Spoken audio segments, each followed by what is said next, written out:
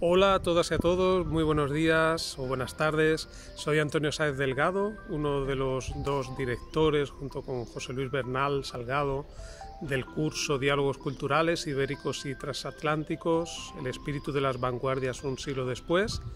que pertenece al Campus Juste y que se celebrará del día 28 de junio al 2 de julio en modalidad online quería mandar este mensaje para animaros a, inscribiros en este curso que hemos preparado con mucho cuidado, con mucho esmero y en el que creo que contamos con realmente personalidades muy relevantes del mundo de la cultura iberoamericana. Es un curso en el que vamos a hablar sobre literatura, sobre artes plásticas, sobre música, sobre cine, sobre arquitectura y en el que vamos a intentar entre todos pues descubrir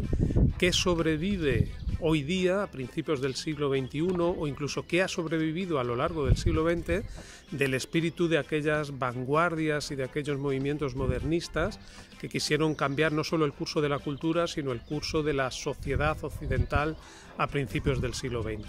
Ha pasado un siglo, han pasado 100 años desde aquel momento histórico y queremos intentar analizar y revisar qué es que tenemos hoy en día en nuestro mundo cultural, en el ámbito iberoamericano, cuál es la huella de aquel espíritu vanguardista. Para ello contaremos con personas como María Kodama, Helga de Alvear, Pilar del Río, Manuel Gutiérrez Aragón, Juan Manuel Bonet, Juan Bonilla, Mario Claudio, es decir, con un conjunto importantísimo tanto de creadores como de críticos y especialistas que analizarán pues las diversas perspectivas sobre la cual sobre las cuales podemos abordar esta cuestión. El espíritu de las vanguardias, un siglo después, en el campus Juste, del 28 de junio al 2 de julio, modalidad online. Estamos esperando vuestras inscripciones.